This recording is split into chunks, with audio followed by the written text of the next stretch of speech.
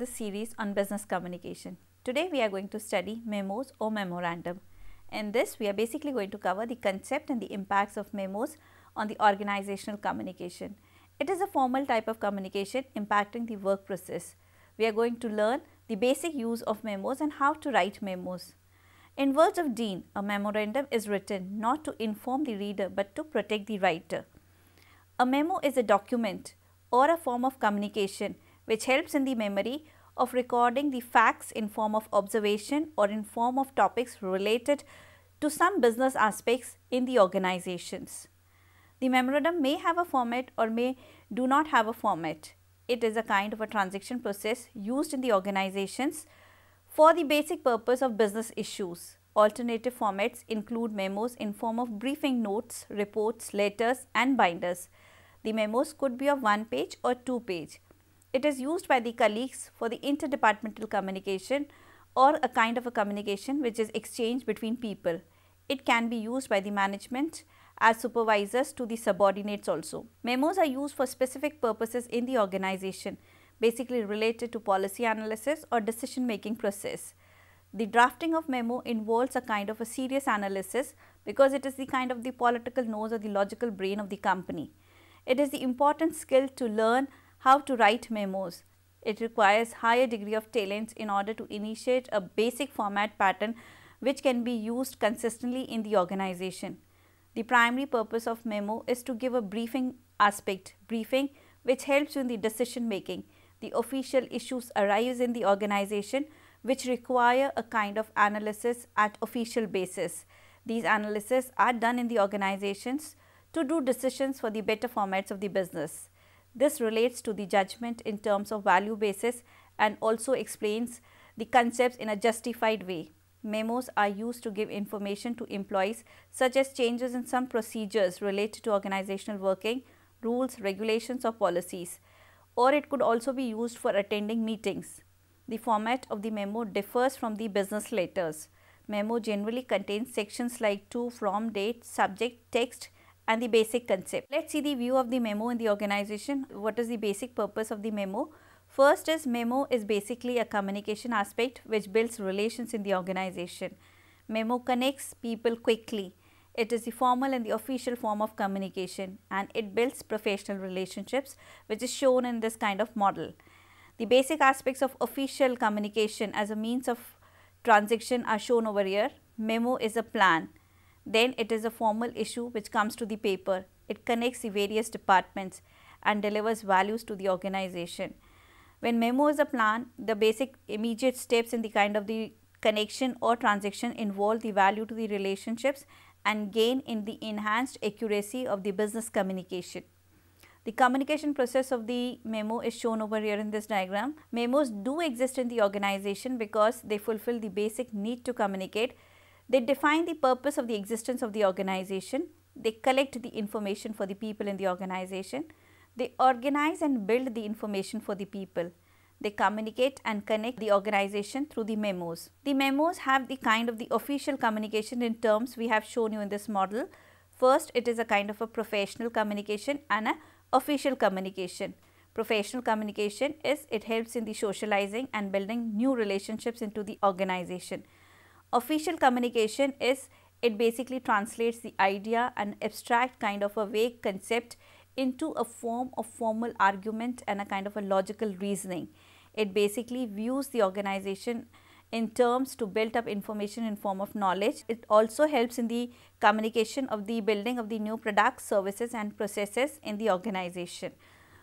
This model basically shows you the elements of the memos See the basic elements of the memos which are involved in the official transactions are shown over here. It is a kind of a creative process. Creative process to build up information base in the organization. This involves both kind of analytical planning and a kind of a commercial application. The analytical planning basically involves a kind of organizing of information and the commercial application results into the kind of the implementation of the basic product to the services given to the organization. The total communication system is built through this kind of transaction. If memos are not there in the organization, the total procedure of communication through letters or through other forms will be lengthy and it would be defined in such a way that you have to think before you write.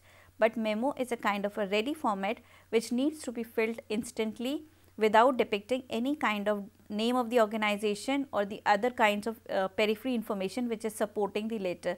So, this is basically a kind of communication which is fixed and a format base. The key people and the processes involved in building the memo are shown over here in this diagram. First, we need a creative source, people who can build good formats. Then you need to have an organization where genuinely the need of the memos is there and the sponsor is the kind of the uh, basic body which is genuinely sponsoring the process of building memos. Then creative sources, it is a person who creates something through the personal vision and the efforts to bring out a kind of a convenient memo. Then the organization is a system which is related to business and any formal activity related to any technical aspect of government or non-governmental form of organization.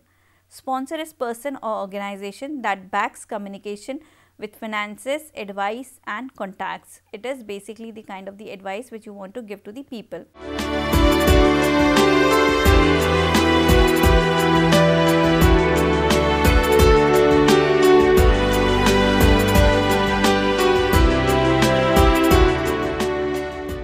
Now let's see the basic functions of the memos.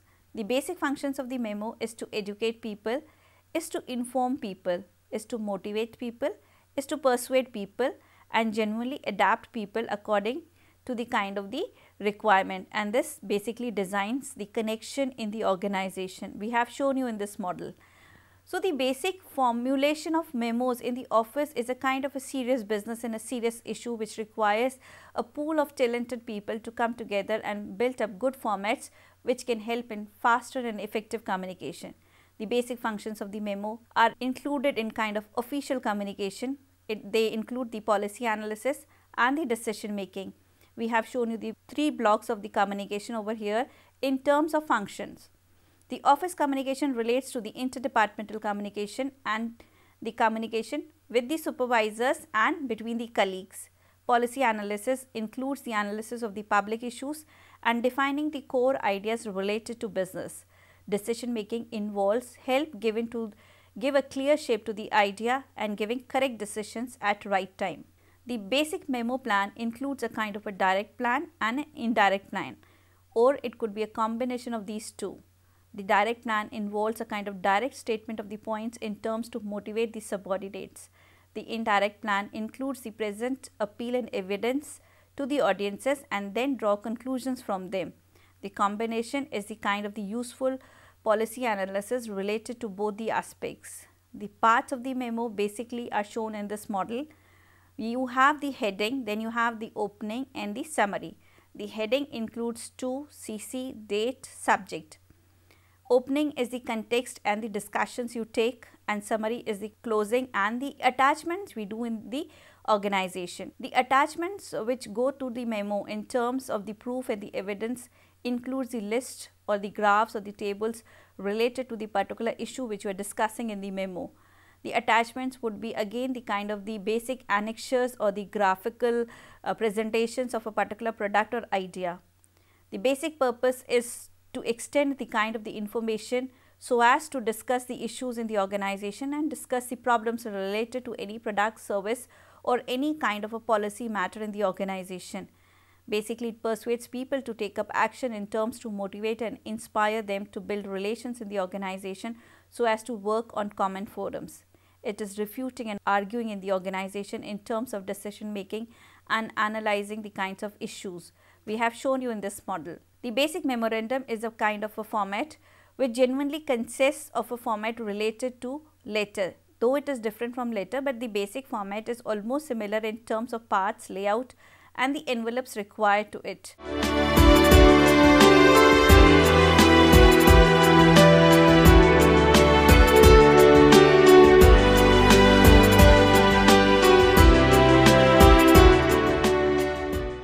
Let's see this format pattern. We have shown you in this block. First is the memorandum that is you write the company name. Then is the date dash to dash department dash subject dash from dash telephone dash. This is the message, comment or reply then from your approval information and comment. So this basic format makes it easy for the organization in terms the people can come, fill up the date, put the policy issue, relate the idea and pass it to the person concerned or the recipient concerned. So this is a faster way of communication like as you're going in the banks, if you had to make the check and if you had to make the pay slip on your own, it would require lot of time and it will be inconvenient for the audiences who are not related to those particular legal aspects. We can forget some issues and genuinely people do not remember everything related to all the aspects. So, the format gives you a basic uh, kind of a point based issue uh, raised in the organization which genuinely is to be filled by the people. So, this by this we have the complete communication in terms of the requirement by the organization or the insurance or the banking sector whoever you is using the memos genuinely need all the information related to particular aspect which is a kind of a genuinely a legal requirement to support the transaction of a product or a service in the market. So, memos do help you to build this kind of information which is complete from A to Z and it is concise where no elaboration is there and it is issue based related to a particular idea. Combination message which you require in the kind of the format is a simple format where you fill up easily but a lengthy memo would also include the kind of the attachments required as proofs. Here we have shown you inter-office communication. Here we have the ABC company. We have to from subject, date, message signed, then reply and date signed. So, one office sends the memo to the other office. The other office recipient person receives this memo, fills the reply for the particular issue and sends back to the other office. So, this is a faster way where you do not have to write in reference to letter number so and so and it becomes a lengthy kind of a legal procedure. We have the instant internal kind of communication which connects people in a faster way and which genuinely helps you to record information which is technical which you would forget when you say it verbally.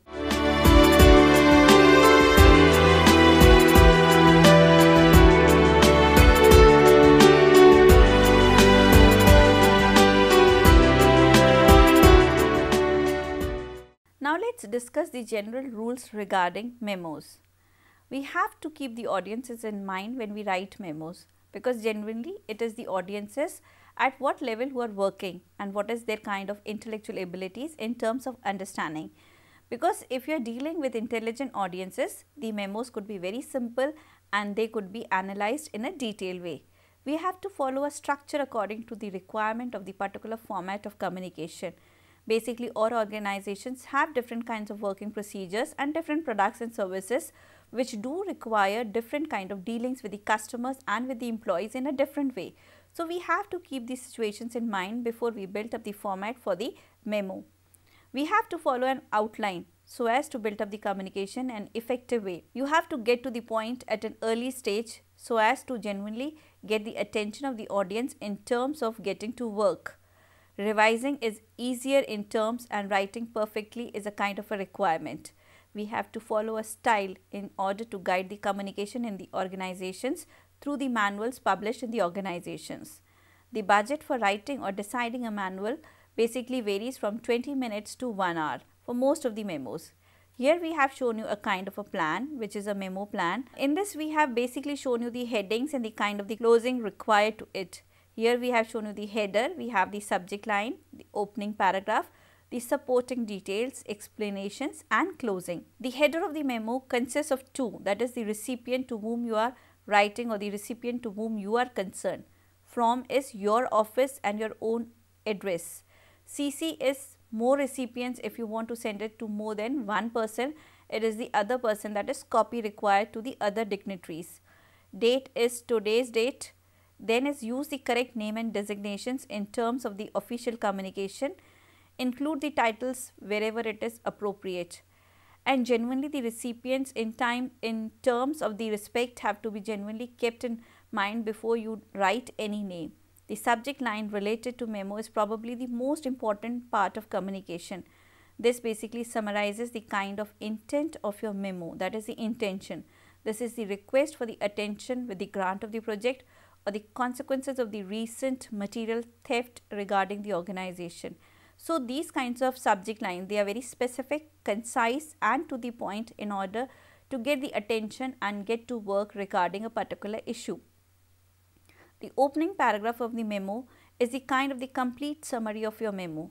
This provides the context, the style, the action and the request for which you are required to take action. It is the summary of the rest of the memo. But you have to put your intent in the first sentence. So, it is an official communication which has to be direct and it has to be devoid of decoration. You genuinely have to come to the point because you are into business in dealing with people and products and services. The supporting details in terms of explanation are required in a concise way. We have to maintain a kind of a global structure in terms related to particular form of communication which prevails in most of the organizations all over the world. The findings, the implications and the action items, this is the basic formal communication followed all over the world. We have to arrange the facts in a logical manner. Don't try to provide more than detailed information where required use bullet points for points in terms of a concise way. Use the correct structure of the bullets. The closing paragraph would consist in terms of closing and summarizing what you want from the recipient. It is what action you want or what kind of information you require for the further communication. Provide clear instructions, include deadlines wherever it is applicable and for further references give the contact details and information wherever it is appropriate. Now, the objectives of basic memo includes to discuss and to receive information and instructions in the organization. It is to increase the importance of effective listening skills in the organizations related to communication. It is to discuss the advantages and disadvantages of written communication into the organization and this is a kind of a process which involves written communication and the various types of memos involved into the organization. The giving and the receiving of instructions in the organization is a kind of a serious business. You have to research the audience in terms of the both material aspects and the non-material aspects. Plan how you will present your instructions in terms of the types of instructions. Listen carefully to the feedback of the audiences, understand the audience's situations and ambitions. Have the effective active listening skills as a useful tool to receive instructions the basic advantages of communication in through the memo are that it is a faster kind of a communication, it is a kind of a legal communication, it is a communication which can be recorded and used for reference in the future, it is a kind of a proof what you want to say in the organization for future references. The disadvantages of this kind of communication are that the verbal expressions are absent and the kind of non-verbal body language is absent in memo kind of communication. Now the basic types of memos are instruction based memos, request based memos, announcement based memos, transmittal memos and the authorization memos. Now these various types of memos in organization have their basic functions.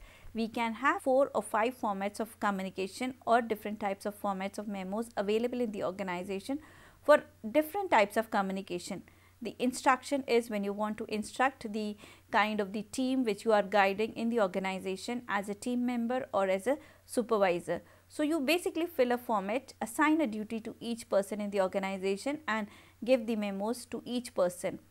Uh, this will allow you to give a record of the information which you wanted from the employees and it will avoid the kind of the confusion which genuinely the verbal communication has in terms that people do forget what they have to do.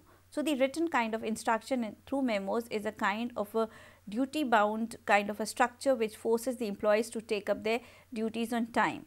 Request is what you want in the organization as a form of material as a form of information or as a form of file or some kind of issue discussion. So, uh, request memos are filled in the organization when you require from your colleagues this kind of information. This is the record that you had worked on a kind of a official communication. Announcement is any kind of change in the organization's rules, regulations, products, launch of new products or it is a kind of any happening into the organization related to policy matter is done through the memo. Thank you.